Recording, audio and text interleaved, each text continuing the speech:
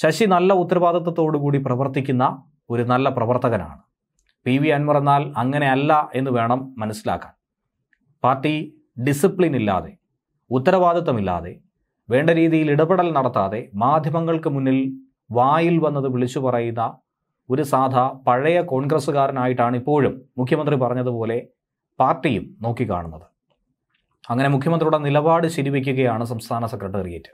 A D G P M R അജിത്കുമാറിനെ തിരക്കിട്ട് തൽസ്ഥാനത്ത് നിന്ന് മാറ്റേണ്ട ആവശ്യകതയില്ല എന്ന സംസ്ഥാന സെക്രട്ടേറിയറ്റ് തീരുമാനം എടുത്തു എന്നാണ് വിവരം ലഭിക്കുന്നത്.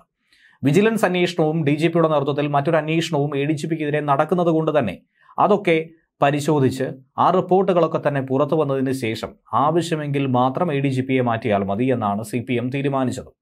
തൃശൂർ പൂരം അലങ്കോലമാക്കിയതുമായി ബന്ധപ്പെട്ട് ആഭ്യന്തര സെക്രട്ടറിയുടെ ശുപാർശയ്ക്കനുസരിച്ച് തുടർ നടപടി സ്വീകരിക്കുമെന്നാണ് സെക്രട്ടേറിയറ്റ് തീരുമാനിച്ചത്. പി വി അൻവറിനെ തള്ളി പി ശശിയെ സംരക്ഷിക്കുന്ന നിലപാട് വാർത്താ സമ്മേളനത്തിലടക്കം മുഖ്യമന്ത്രി സ്വീകരിച്ചപ്പോഴേ സംസ്ഥാന സെക്രട്ടേറിയറ്റിലും സമാനമായ നിലപാടുണ്ടാകുമെന്ന പ്രതീക്ഷ മാധ്യമങ്ങൾ പങ്കുവച്ചിരുന്നു. എന്നാൽ സംസ്ഥാന സെക്രട്ടേറിയറ്റിന്റെ പ്രസ്താവന പുറത്തു വന്നതിന് ശേഷം പി വി അൻവറിനോട് പ്രതികരണം ചോദിച്ചപ്പോൾ പിന്നീട് പ്രതികരിക്കാമെന്നുള്ള മറുപടി പറഞ്ഞു. പക്ഷേ ഇന്നും A D G P M R അജ്കുമാറിനെതിരെ ഗുരുതരമായ ആരോപണം ഉന്നയിച്ചുകൊണ്ട് ഒരു ഇടവേളയ്ക്ക് ശേഷം അൻവർ വീണ്ടും രംഗത്ത് വന്നിട്ടുണ്ട്. ആഭ്യന്തര വകുപ്പ് വിശ്വസിച്ചേൽപ്പിച്ച പി ശശി പരാജയപ്പെട്ടു. ശശി ഉത്തരവാദിത്തം നിർവഹിച്ചില്ല. എം ആർ അജിത്കുമാറും സുജിത് ദാസും അടക്കം ചെയ്യുന്ന കാര്യങ്ങളുടെ പഴി മുഖ്യമന്ത്രിയുടെ മേൽ വന്നു കയറുന്നു. വിശ്വസ്തരൊക്കെ കിണറ് കുഴിച്ചു വെച്ചിരിക്കുന്നു. വിശ്വസിച്ചേൽപ്പിച്ച പി ശശി അദ്ദേഹം പരാജയപ്പെട്ട് മുഖ്യമന്ത്രിയെ ചതിക്കുന്നു. ശശിക്ക് ഇതിനെക്കുറിച്ച് അറിവുണ്ടോ എന്നത് എനിക്കറിയില്ല എന്നും പി വി അൻവർ നേരത്തെ വിവാദപരമായ ആരോപണം ഉയർത്തിയിരുന്നു. അദ്ദേഹം വിലയിരുത്തിയിട്ടുണ്ടെങ്കിൽ ഇങ്ങനെ ഒരു കൊള്ള കേരളത്തിൽ നടക്കുമോ? പി ശശി അതുകൊണ്ട് ഉത്തരവാദിത്വം നിർവഹിച്ചിട്ടില്ല. മലപ്പുറം ജില്ലയിലെ രാഷ്ട്രീയമായ പല വിഷയങ്ങളിലും കത്ത് നൽകിയിട്ട് പോലും ഇന്ന് വരെയും നടപടി ഉണ്ടായിട്ടില്ല എന്നിങ്ങനെയുള്ള ആരോപണങ്ങളാണ് പി ശശിക്കെതിരെ പി വി അൻവർ ഉയർത്തിയത്. അൻവറിന്റെ ഇത് ഇടതുപക്ഷ രാഷ്ട്രീയ പശ്ചാത്തലമല്ല എന്നും അൻവർ വന്നത് കോൺഗ്രസിൽ നിന്നാണെന്നും പറഞ്ഞുകൊണ്ട് മുഖ്യമന്ത്രി ഇതിനെ പൂർണമായും വാർത്താ സമ്മേളനത്തിലൂടെ തള്ളിക്കളഞ്ഞു. പി ശശിക്കെതിരെ പരാതി ഉണ്ടായിരുന്നെങ്കിൽ അൻവർ മാധ്യമങ്ങളോടല്ല പറയേണ്ടത്. അൻവർ ആദ്യം ചെയ്യേണ്ടിയിരുന്നത് പാർട്ടിയുടെ ശ്രദ്ധയിൽപ്പെടുത്തുകയായിരുന്നു. സാധാരണ നിലയ്ക്ക് ഒരു പ്രശ്നമുണ്ടായാൽ അങ്ങനെയാണ് ചെയ്യുക. പാർട്ടിയുടെ ശ്രദ്ധയിൽപ്പെടുത്താൻ പറ്റിയില്ലെങ്കിലും തന്റെ അടുത്തെങ്കിലും എത്തി ഇക്കാര്യം പറയാമായിരുന്നുവെന്നാണ് മുഖ്യമന്ത്രി പറയുന്നത്. സി പി എമ്മിന്റെ പാർലമെന്ററി പാർട്ടി അംഗം കൂടിയാണ് അൻവർ. അതുകൊണ്ടാണല്ലോ ഇടതുപക്ഷ എം എൽ എ എന്ന് പറയുന്നത്. പാർട്ടിയാണ് നിയോഗിച്ചതെന്ന് അദ്ദേഹം തന്നെ പറയുന്നു. അൻവറിന് അങ്ങനെ ഒരു പരാതി ഉണ്ടെങ്കിൽ ആദ്യം പാർട്ടിയുടെ ശ്രദ്ധയിൽപ്പെടുത്തണം.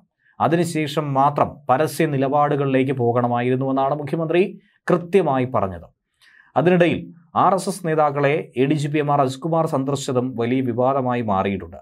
അതിൽ അന്വേഷണത്തിനുള്ള ഉത്തരവ് ഇറങ്ങിയിട്ടുണ്ട്. D G P Sheikh Darvesh സാഹിബിനോട് സർക്കാർ അന്വേഷണം നടത്താൻ നിർദ്ദേശം നൽകി. ആരോപണം ഉയർന്ന് ഇരുപത് ദിവസങ്ങൾക്ക് ശേഷമാണ് നടപടി ആവശ്യപ്പെട്ടിരിക്കുന്നത്. എ ഡി ജി പിക്കൊപ്പം ആർ എസ് എസ് നേതാക്കളെ കണ്ടവരുടെ മൊഴിയും അന്വേഷണ സംഘം രേഖപ്പെടുത്തുമെന്നാണ് അറിയാൻ കഴിഞ്ഞിരിക്കുന്നത്. R S S general secretary Dattatreya Hosabale R S S നേതാവ് രാം മാധവ് അടക്കമുള്ളവരെ എ ഡി ജി പി നേരിട്ട് കണ്ടുവെന്നാണ് സ്പെഷ്യൽ ബ്രാഞ്ച് റിപ്പോർട്ട് നേരത്തെ പുറത്തു വന്നത് ബി ജെ പിയുടെ മുൻ ജനറൽ സെക്രട്ടറി കൂടിയായിട്ടുള്ള രാം മാധവുമായി രണ്ട് തവണയാണ് എ ഡി ജി പി കൂടിക്കാഴ്ച നടത്തിയതായി സ്പെഷ്യൽ ബ്രാഞ്ച് റിപ്പോർട്ടിൽ പറയുന്നത്.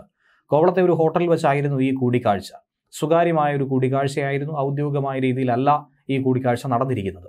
ഇതുകൂടാതെ കഴിഞ്ഞ ലോക്സഭാ തെരഞ്ഞെടുപ്പിൽ സുരേഷ് ഗോപിയെ ജയിപ്പിക്കാൻ വേണ്ടി A D G P M R Ajithkumar Thrissur Pooram കരക്കിയെന്നാണ് അൻവറിന്റെ ആരോപണം. സുരേഷ് ഗോപിയുടെ മകളുടെ വിവാഹവുമായി ബന്ധപ്പെട്ട കാര്യങ്ങളിൽ തൃശൂരും ഗുരുവായൂരുമായി അജിത് കുമാർ സജീവമായി പ്രവർത്തിച്ചുവെന്നും സ്പെഷ്യൽ ബ്രാഞ്ച് റിപ്പോർട്ടിൽ പരാമർശമുണ്ടായിരുന്നുവെന്നും കുറ്റപ്പെടുത്തലുണ്ട്.